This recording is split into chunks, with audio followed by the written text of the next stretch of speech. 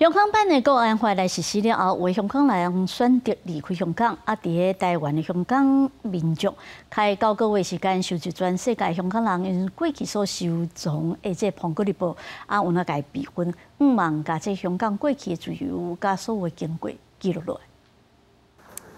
一九九五年，《苹果日报》的创刊号是香港头一份彩色印刷的报纸，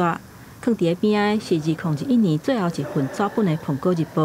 那像见证二十六年来香港自由民主的起落，伫台湾香港人拍拼收集《苹果日报》。希望把香港这个城市的点点滴滴给保存落来。见证到香港这几年来整个社会的动荡，还有呃不同香港人在不同地方的情绪啊。但是虽然是这样，我们展出的东西虽然是还蛮沉重的报纸，但是我们还是希望来到看到的民众可以感受到呃香港人还在持续坚持的那一个理念跟情感，大家都在继续做。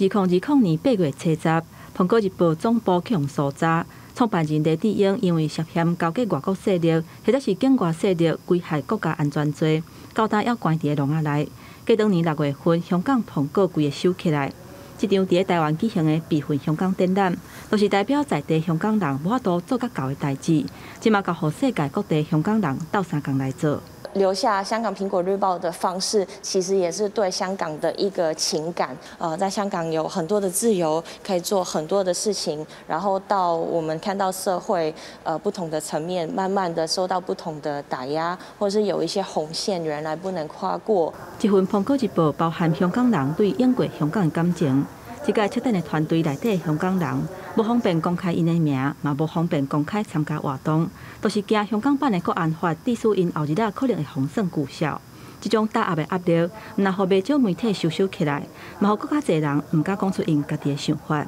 记者综合报道。